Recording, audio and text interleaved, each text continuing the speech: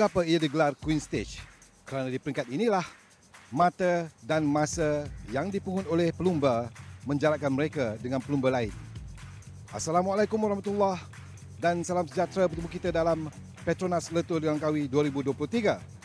Queen Stage menyaksikan 15 pelumba terawal yang menamatkan perlumbaan terus berada di 15 tempat teratas keseluruhan.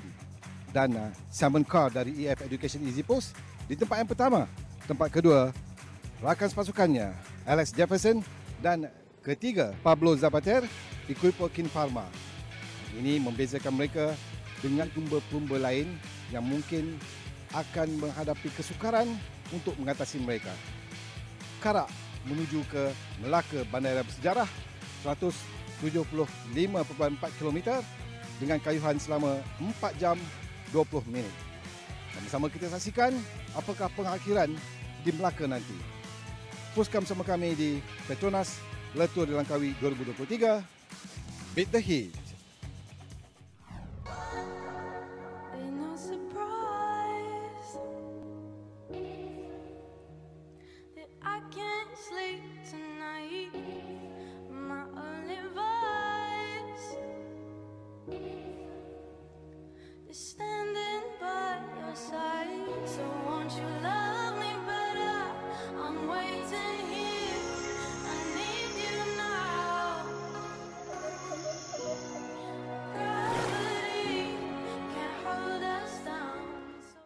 David, are you happy that the mountains are behind you? Uh, yeah, actually, I I, uh, I was enjoying it yesterday. Uh, it was not it was a hard climb, but uh, I could do my own pace. So there was a lot of people, spectators. So it was actually nice to ride up the climb. Uh, but I'm happy it's behind and I can uh, go for sprints again. It's behind, and the polka dot jersey is secured in your team with Simon Pelot. Now, what's the goal? To get another jersey for good, the one that you wear yeah, that would be really nice to have two jerseys. Uh, but I'm mo more focusing on uh, on winning, and uh, that's what we're uh, trying to do the coming three days. And uh, if the jersey is uh, is is with that, it would be it would be nice. But we will see. After Genting, it's a different race, more opportunities. Yeah, in paper, yeah, no, theor theoretically, yeah, it's more uh, it's more open. It's a different race, but still there is many teams that have sprinters here and they want to go in a massive sprint, uh, in a sprint finish. Uh, but we'll see. The race, the, the race decides uh, is decided in the road. So we'll try our best and we'll see how it goes. What kind of uh, breakaway could work with how many people? What kind of riders?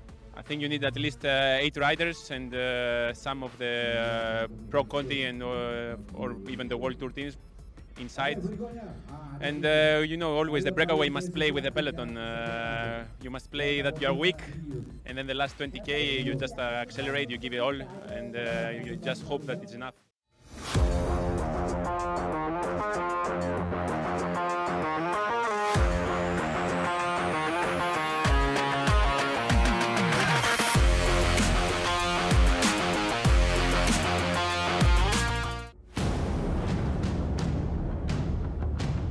Khamis 28 September 2023, peringkat ke-6 dari Karak ke Melaka sejumlah 174.5 km menyaksikan dua zon pendakian dan tiga zon pecut.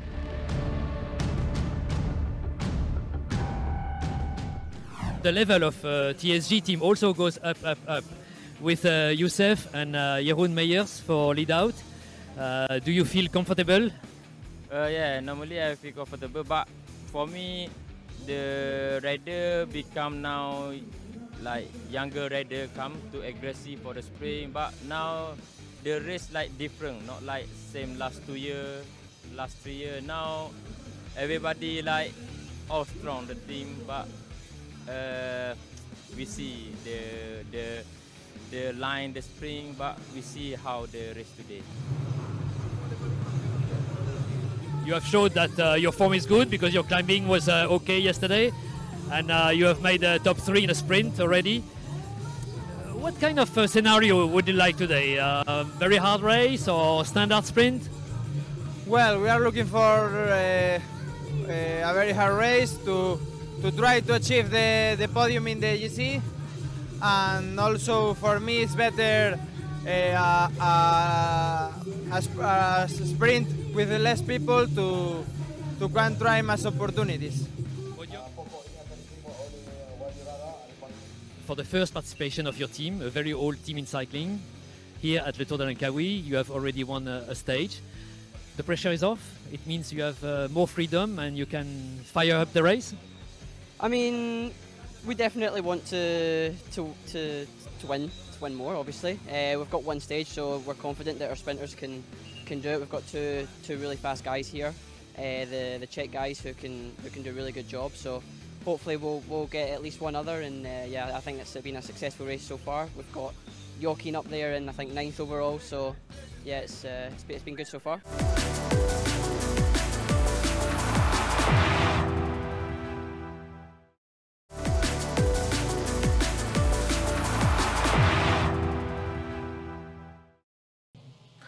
Cuaca panas menyinari peringkat ke-6 dari Karak ke Melaka 174.5 km hari ini Khamis 28 September 2023. Tiga zon pecutan dan juga dua zon pendakian diawalkan pada hari ini. Bermula zon pendakian pertama di Gapoi diikuti dengan tiga zon pecut di Pelangai, Batu Kikir dan Kuala Pilah masing-masing di Negeri Sembilan. Begitu juga pendakian kedua di Luar Inas. Tepat jam 10 pagi hari ini kesemua 117 pelomba dilepaskan. Dilepaskan di Kampung Batu Karak menuju ke Kampung Seri Telemong sebelum destinasi terakhir Dataran Pahlawan Melaka. Ini dia Simon Palot yang sudah selangkah untuk dinobatkan sebagai juara Raja Bukit. 7.8 km kesemua 117 pelomba harus ditepuhi untuk zon neutral zon ini. Itu dia muka-muka seperti Muhammad Aiman Zarif. Pada awalnya kita nampak uh, bagaikan Aiman Zarif memulakan aksi dengan begitu meyakinkan adik apabila sebaik uh, selepas 0 km. Ya, sudah pasti Aiman Zarif hari ini peringkat yang ke-6. Beliau ingin mencuba melakukan sesuatu kerana sebelum ini Aiman Zarif jika untuk dilihat untuk memungut jersey polka dot memang suka untuk dirinya. Laluan yang menarik hari ini melalui laluan yang uh, berliku-liku bagaikan uh, ratusan selekoh hari ini. Dan selepas itu kita boleh lihat dua pelomba ini iaitu Sambaya dan juga Nur Aiman Rosli diikuti oleh Politi dari pasukan Rojai cuba untuk berada di dalam kelompok hadapan. Awal-awal lagi sebenarnya kita menyaksikan pelumba dari uh, TSG ini berusia 27 tahun Jambalian Sanbaya dari pasukan TSG Polygon memulakan rentak awal. Di zon pendakian pertama hari ini, pelomba daripada pasukan TSG mengungguli dengan mempunyai dua mata manakala Aiman Rosli tempat kedua memperolehi satu mata. Zon pendakian di Gapoi ini diraih cemerlang oleh Sanbaya untuk dua mata. Dan selepas itu kita boleh lihat ketiga-tiga pelomba ini meningkatkan kayuhan dari semasa ke semasa 1 minit 15 kepada 3 minit. Cuaca panas terus menemani mereka. Bagaimanapun tidak menyekat kemarahan Sanbaya ini yang terus kekal di bahagian hadapan bersama-sama dengan Aiman Zarif dan juga Polikronis Zotzakis dari pasukan Rujai Online Insurance. Dan kita lihat Paki 141 menuju zon pecutan pertama. Pelomba daripada pasukan TSG, Sambaya sekali lagi cuba memberi tetangan kepada pelomba dari pasukan Rojai, Politi dan juga Aiman Rosli.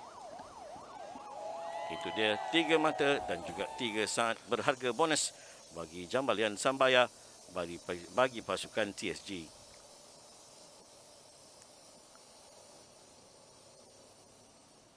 Dan ini dia Simon Pilot merupakan pemegang jersey Polkadot Kerajaan Tourism Malaysia. Secara tidak rasminya, beliaulah Raja Bukit untuk edisi ke-27 ini.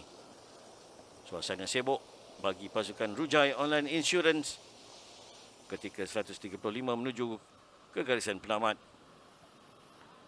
Sembang pilot hari ini banyak membantu pasukan daripada Tudor itu menjadi domestik untuk pasukan ini kerana kita lihat dia seperti uh, banyak kembali ke dalam tim kah untuk cuba mengambil feeding kepada rakan pasukan yang lain. Apa tidaknya, dia bagai sudah membolot semua mata-mata pendakian setakat ini. Dan jika kita lihat 132 menuju ke bandar bersejarah Melaka 3 minit 5 uh, saat perbandingan antara leader dan juga peloton di saat ini. Itu dia Haris Saleh dan rakan pasukan Yusuf Regigi Pelumba Algeria yang juga juara pada versi 2015 ketika itu. Pada satu masa hampir 3 minit 20 saat antara tiga pelumba yang berada di hadapan ini mampu menjarakkan diri mereka. Itulah dia peloton uh, bagaikan uh, nampak berpecah-pecah sedikit apapun mereka tetap berkumpul bagaikan uh, memberikan satu uh, amaran juga kepada pelumba-pelumba di bahagian hadapan uh, lebih-lebih lagi menuju ke garisan penamat. Namun ketika ini 130 km lagi menuju ke dataran pahlawan menyaksikan juga kehebatan Polikronis Zotzakis dari pasukan Rujai Online Insurance berada di tiga pelompok di hadapan. Vandi Proski, Jesse Putih, Jesse pendahulu The Best Asian Rider masih kekal miliknya. Kita lihat uh, barisan uh, pasukan daripada EF Education Easy Push mengawal rapat di bahagian hadapan peloton. Baki 104 km menuju ke garisan penamat dalam masa itu kita boleh lihat perbezaan antara leader dan juga peloton sudah hampir 4 minit. Kami sangkakan uh, almost ataupun sehingga separuh perjalanan ke dataran pahlawan Melaka masih lagi ketiga-tiga pelumba. Kita lihat pelumba daripada pasukan Madiani yang cuba berinteraksi antara pelumba domestik dan juga tim director sportif.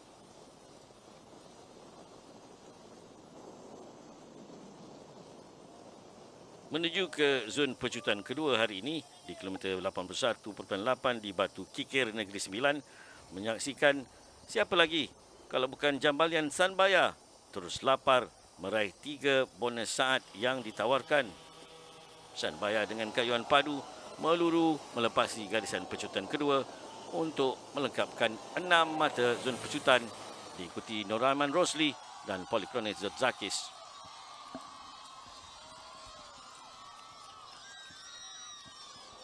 Paki 82 km menuju ke garisan penamat, kita boleh lihat tiga pelumba berada di kelompok hadapan ini, mereka sudah menjarakkan diri mereka sehingga 4 minit 15 saat. Nampak seperti uh, gap ataupun masa sudah melebar. Bagaimanapun kita menyaksikan Nuraman Rosli terus meluru ke depan kerana dia tidak mahu membiarkan Sanbaya menambah lagi tiga mata di zon pecutan ketiga di Kuala Pilah. Nuraman Rosli tiga mata diikuti Sanbaya kedua dan juga Polikronis Zotakis. Dan juga baki 114 pelumba yang menyusuri Kuala Pilah ketika ini. Nampak cantik view daripada atas melihat uh, bandar klasik Kuala Pilah ini. Menyaksikan uh, 100 baki 114 pelumba melepasi zon pecutan ketiga yang ditawarkan pada hari ini Di sini bermulanya kita lihat untuk zon pendakian yang kedua hari ini di Inas di kilometer 104. Perlombaan hari ini sudah pasti begitu hebat dan menarik untuk dilihat kerana pagi 70 km terakhir kita boleh lihat pasukan EF Education cuba meningkatkan tempo kayuhan di dalam peloton dari masa ke semasa diselangi dengan gelagat penyokong-penyokong di sekitar luar Inas. Agak menarik juga untuk disaksikan. Dan selepas itu kita boleh lihat dua pelomba ini iaitu Sambaya dan juga Aiman Rosli cuba untuk memecut dan di zon pendakian yang kedua ini sudah pasti Sambaya melepasi dahulu berbanding Noah Aiman Rosli. Diikuti Polychronis Zozakis yang semakin ditelan oleh peloton ketika ini. Agak garang peloton cuba menelan barisan uh, hadapan atau front, runners pada peringkat hari ini kerana selalunya mereka mula menelan uh, lewat-lewat penghujung persaingan tetapi nampak Polychronis sudah pun ditelan lebih awal. Apapun 70 km lagi menuju ke garisan penamat di dataran Pahlawan Melaka untuk peringkat ke-6 hari ini. Kita kembali selepas ini.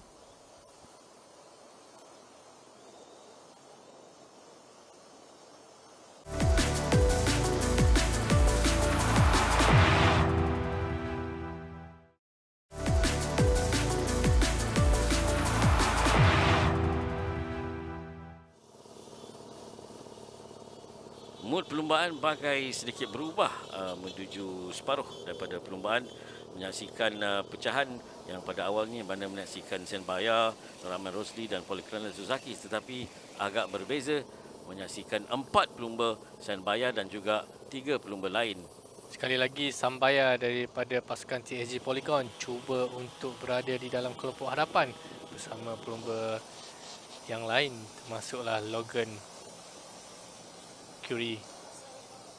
Selain Sanbaya, Logan Curie dari pasukan uh, BEP dari New Zealand diikuti Masaki Yamamoto dari pasukan uh, Jepun dan juga JCL dan juga Elias Periaklis pelumba Greece dari pasukan Lining dari China. Dan kita lihat paki 46 km 4 pelumba ini mampu menjarakkan diri daripada peloton sehingga 1 minit 5 saat. Kita juga lihat menyaksikan bagaimana pelumba Tudor mengawal rapat, uh, mengawal rapi bahagian peloton apapun tumpuan ketika ini kepada keempat-empat pelumba ini dan juga pelumba kebangsaan Jepun yang juga juara di sana iaitu Masaki Yamamoto. Dan kita lihat 34 menuju kilometer terakhir menuju ke bandar Melaka. Pelumba daripada Jepun ini melakukan pemecahan solo menyaksikan uh, keempat pelumba-pelumba ini terpecah kepada kumpulan hadapan di mana menyaksikan Masaki Yamamoto dengan secara solo berbasikal di bahagian hadapan meninggalkan Logan Curie dan juga Ilyas Perialaklis. Di sini kita lihat peloton dan juga leader sudah menjarakkan diri hampir 2 minit di last 25 km terakhir. Ini dia menyaksikan uh, duruan Maki 114 pelumba di belakang di peloton mula mendekatkan diri dengan uh, kumpulan chaser dan juga apalagi kalau bukan Masaki Yamamoto ini yang berusia 27 tahun. Dilihat di situ Logan Curie dan juga Ilyas bagi dikejar rapat oleh peloton. Pagi 11 km menuju ke rezerv penamat, dah pasti peloton cuba untuk menangkap kedua-dua pelumba ini iaitu Logan Mercury dan juga Yamamoto. Akhirnya mereka terpaksa berserah juga dan membiarkan peloton menelan mereka untuk baki 7 km menuju ke garisan penamat di dataran Pahlawan Melaka. 4 km menuju ke garisan penamat, mood semakin berubah seperti mana yang disangkakan dan juga sudah diramalkan satu bunch finish atau bunch sprint menuju ke garisan penamat menyaksikan 2 km lagi dan satu menuju ke garisan penamat menyaksikan pelumba-pelumba daripada Kahar Rural bagaikan mula memberikan amar awal untuk menuju ke garisan penamat tetapi tidak. Apabila dua pelumba Tudor menyaksikan Mikal Zulat menjadi melakukan lead out yang menarik membiarkan Arvin Decline meluru terus ke garisan penamat. Kita lihat Mikal Zulat di hadapan melakukan lead out. Dan apabila tugas dia selesai dia melepaskan saja Arvin Decline terus meluru ke garisan penamat menyaksikan Shasha Fimas melepaskan HPM diiringi dengan diikuti rapat oleh pasukan berusia pelumba dari berusia 23 tahun Gleb Sritsa. Tempat ketiga itu dia Avid Decline. Pertama diikuti Shasha Bimas kedua dan Gleb Sritsa. Kayuhan yang menarik untuk dihadirkan oleh pelumba daripada pasukan Sizzle ini dan berjaya menamatkan perlumbaan di tempat pertama untuk peringkat yang ke-6 ini. Terlihat ulantai yang bagaimanakah uh, kerahan ataupun kayuhan padu menuju uh, lebih kurang 1 km menuju ke garisan penamat. Sebelum melalui left hander kita menyaksikan Mikael Zulat dari pasukan Tudor yang cuba melakukan lead out untuk Avid Decline. Ketika ini kita bakal menyaksikan bahawa uh, Zulat dengan uh, misinya sudah selesai melakukan lead out melepaskan Avid Avid di tengah kita melihat Avid di tengah. Diikuti rapat oleh Sasha Bimas dari pasukan HPM. Bagaimanapun kita nampak kelibat Gleb Srisa di sebelah kanan sana menyaksikan keputusan 1 2 3 mirip peringkat pertama dari Kertih ke Kuala Terengganu. Avid, you're the second rider to win two stages in this Tour de Langkawi. Yeah, it's great. I think everybody saw it was a super nice team effort. We, uh, we were struggling a bit to hit the front, but at the right time we, we got to the front and yeah, with a lead out like this, it's amazing. And uh, yeah, I could finish it off, so it's super nice. It was still tight at the end. Uh, did you always have the sprint under control? Yeah, I felt like it. Uh, I had I had maybe one uh, acceleration left, I think. So and it was it was a bit headwind, so I knew I couldn't go like full from the beginning. Uh, and at the end, yeah, I, he came kind of next to me and then went a little back. So I think I had it under control. Ini dia kali kedua Avid Decline berjaya merangkul peringkat untuk edisi ke-27 ini. Avid Decline pertama, Sasha Vimas dan juga Gleb Sritsa masing-masing melengkapkan aksi peringkat ke-6 1 2 3. Peringkat ke-6 Moscovity Rider dirangkul oleh pelumba daripada TSG iaitu Sambaya Jambal. Dan Vadim Pronsky mengekalkan jersey putih terbaik Asia. Pronsky mengekalkan rentak yang baik bagi uh, mengekalkan jersey terbaik Asia. Bagaimana kita lihat Nur Aiman Rosli di tempat ke-6 8 minit lebih kurang 8 minit terpisah.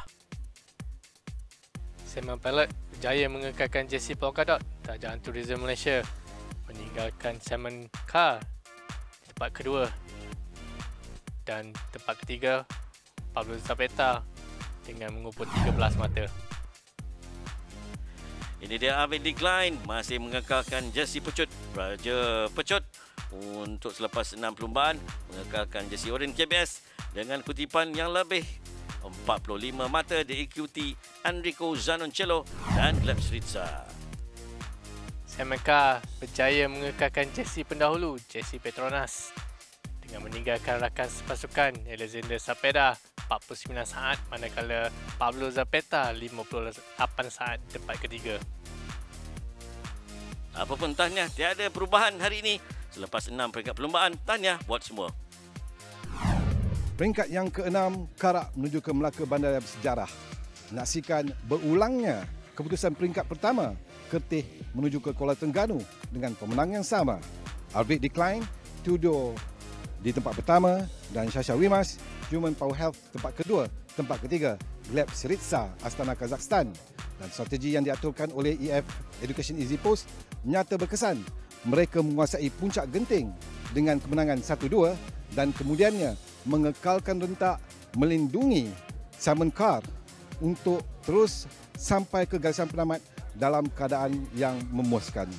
Dan uh, bagi Simon Carr juga, jersey pendahulu jersey hijau Petronas terus miliknya dengan kelebihan 49 saat manakala bagi jersey Polkadot iaitu jersey Tourism Malaysia Simon Pelot dari Tudor Pro Cycling Team terus di depan dengan 32 mata dan Avid Decline juga dari Tudor memegang jersey KBS Orange KBS dengan 32 mata kemudiannya meningkat menjadi 45 mata ketika ini. Dan uh, Vadim Pronsky kekal di jersey putih Beautiful Terengganu. Jadi esok kita akan menyaksikan stage ke-7 atau peringkat 7 daripada Muar menuju ke Seremban 123.8 km laluan terpendek dalam edisi kali ini. Jadi jumpa lagi Petronas LTDL 2023.